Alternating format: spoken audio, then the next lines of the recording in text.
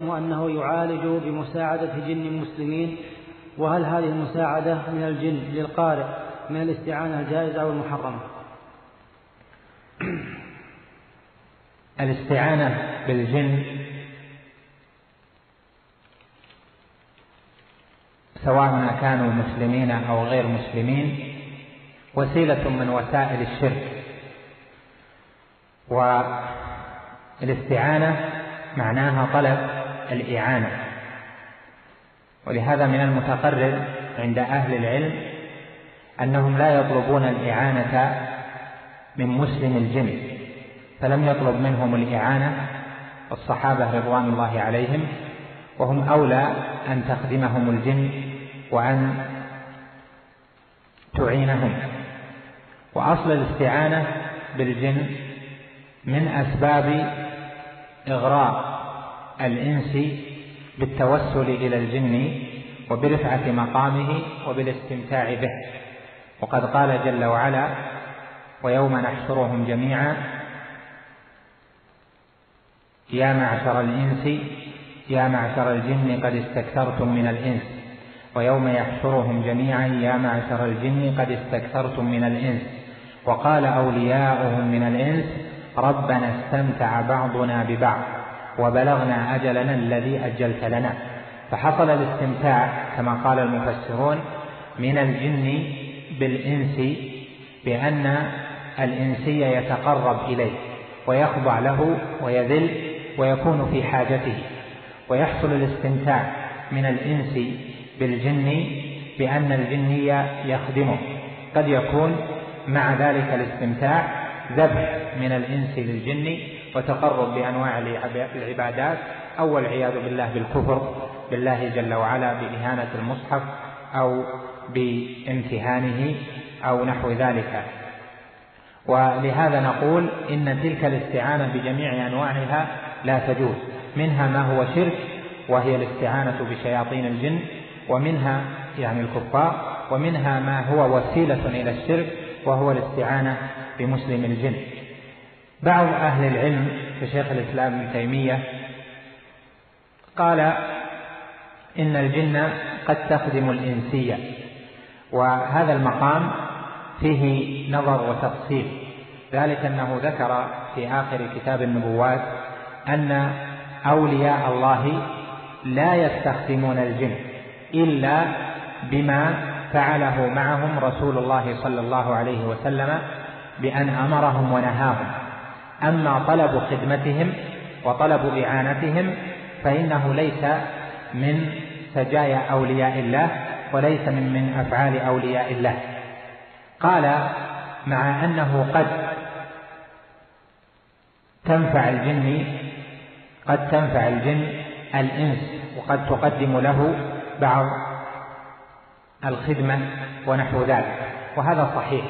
فحصل أن المقام فيه تفصيل.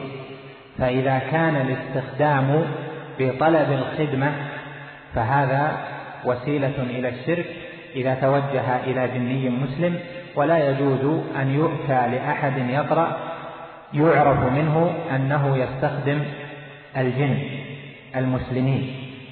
وإذا كانت الجن تخدم بعض الناس بدون طلبه فإن هذا قد يحصل. لكن لم يكن من خلق أولياء الله ولم يكن مما سخره الله جل وعلا لخاصة عباده.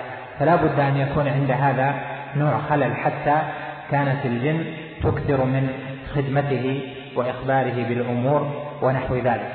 فإذا كان ذلك بطلب منه فهذا لا يجوز وهو نوع من أنواع المحرمات لأنه نوع استمتاع. وإذا كان بغير طلب منه فينبغي له أن يستعيذ بالله من الشياطين ويستعيذ بالله من شر مردة الجن لأنه قد يكون بعد ذلك فيه يعني فيما فعل في قبوله ذلك الخبر واعتماده عليه وأنسه به بما تعلمه الجن منه. يكون فيه فتح لأبواب على قلبه بأن يتوسل بالجن أو أن يستخدمه. أخي الكريم تابع ما تبقى في الشريط التالي. مع تحيات مركز الوسائل بوزارة الشؤون الإسلامية والأوقاف والدعوة والإرشاد بالمملكة العربية السعودية. مع أنه قد تنفع الجن قد تنفع الجن الإنس وقد تقدم له بعض الخدمة ونحو ذلك وهذا صحيح. فحصل أن المقام فيه تفصيل. فإذا كان الاستخدام بطلب الخدمة فهذا وسيلة إلى الشرك إذا توجه إلى جني مسلم ولا يجوز أن يؤتى لأحد يقرأ يعرف منه أنه يستخدم الجن المسلمين.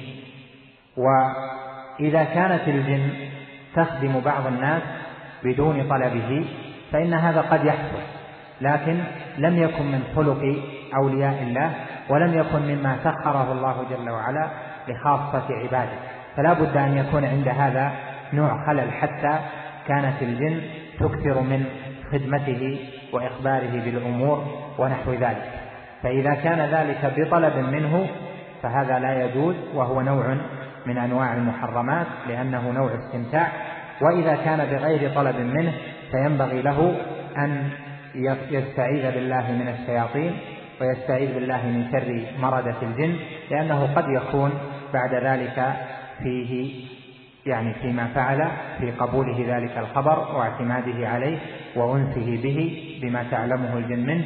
يكون فيه فتح لأبواب على قلبه بأن يتوسل بالجن أو أن يستخدمه. إذا تبين ذلك فإن خبر الجن عند أهل العلم ضعيف لا يجوز الاحتجاج به.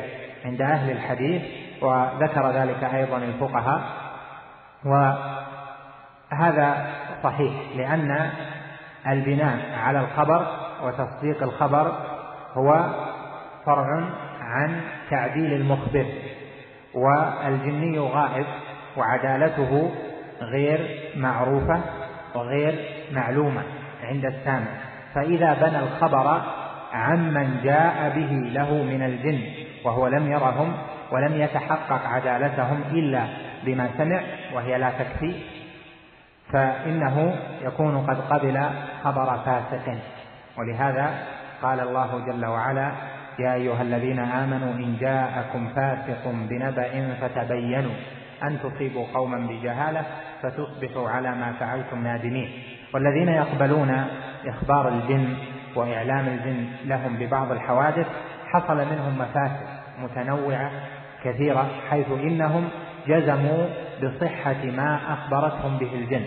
فربما حصل منهم قيل وقال يعني من الناس في ذلك الذين أخبروا بذلك ويحصل بعد ذلك من جرائها مفاسد. وقد تفرقت بعض البيوت من جراء خبر قارئ جاهل بأن هذا الذي فعل كذا هو فلان باعتبار الخبر. الذي جاءه ويكون الخبر الذي جاءه من الجن خبر كذب ويكون هو اعتمد على نبأ هذا الذي لا يعلم عدالته وبنى عليه وأخبر به وصار من جرائه فرقة واختلاف وتفرق وشتات في البيوت. ونعلم أنه قد ثبت في الحديث الصحيح الذي رواه مسلم رحمه الله أن إبليس ينصب عرشه على ماء ويبعث سراياه فيكون أحب جنوده إليه من يقول له فرقت بين المرأة وزوجها. وهذا في جملة التفريق والتفريق بين المرأة وزوجها لأنه هو الغالب وأحب ما يكون إلى عدو الله أن يفرق بين المؤمنين. ولهذا جاء في الحديث الصحيح الذي رواه أيضا مسلم وغيره أن النبي صلى الله عليه وسلم قال إن الشيطان أيس أن يعبده المصلون في جزيرة العرب ولكن في التحريف بينهم. فهذه المسألة يجب عليكم كطلبة علم أن تسعوا في إنكارها وأن تبذلوا الجهد في إقامة الحجة على من يستخدم الجن ويتذرع بأن بعض العلماء أباح ذلك. وهذا وسيلة من وسائل الشرك بالله جل وعلا. واقرأوا أول كتاب تاريخ نجد لابن بشر حيث قال إن سبب دخول الشرك إلى قرى نجد أنه كان بعض البادية إذا أتى وقت الحصاد أو أتى وقت خرف النخيل فإنه يقطنون بجانب تلك القرى ومعهم بعض الأدوية ومعهم بعض الأعشاب. فإذا كانوا كذلك ربما سألهم بعض جهلة تلك القرى حتى حببوا إليهم بعض الأفعال من جراء سؤالهم. حببوا إليهم بعض الشركيات أو بعض البدع ثم شيئا فشيئا حتى فشى ذلك. وعليه يكون من أسباب انتشار الشرك في هذه الديار يعني في نجد وما حولها بحسب ما ذكر ابن غنام من جهة المتطببين الجهلة أو من جهة القراء المشعوذين أو القراء الجهلة. وقد حصل أيضا في هذا ولو أطلنا بعض الشيء أن بعض من يستخدم الجن كثر عنده الناس. ولما كثر عنده الناس صار يعالج علاجا نافعا. وبعد ذلك تسخرت له فئات من الجن أكثر حتى ضعف تأثيره. فلما ضعف تأثيره وعرف أن ما عنده من الحالات التي تأتيه للقراءة أو للعلاج أنه لم يستطع معها شيئا صار تعلقه بالجن أكثر ولا زال ينحدر في ما في قلبه من قوة اليقين وعدم الاعتماد بقلبه على الجن حتى اعتمد عليهم شيئا فشيئا ثم حرفوه والعياذ بالله عن السنة وعن ما في عن ما يجب أن يكون في القلب من توحيد الله وإعظامه وعدم استخدام الجن في الأغراض الشركية. فجعلوه يستخدم الجن في أغراض شركية وأغراض لا تجوز بالاتفاق. إذا فهذا مما يجب وفده ووسائل الشرك يجب علينا أن ننكرها. وسائل الغواية يجب علينا أن ننكرها. ووجود من يستخدم الجن ويعلن ذلك ويطلب خدمتهم في الإخبار هذا مبني على جهل في الحقيقة بالشرع وعلى جهل بوسائل الشرك وما يصلح المجتمعات وما يفسدها. والله المستعان.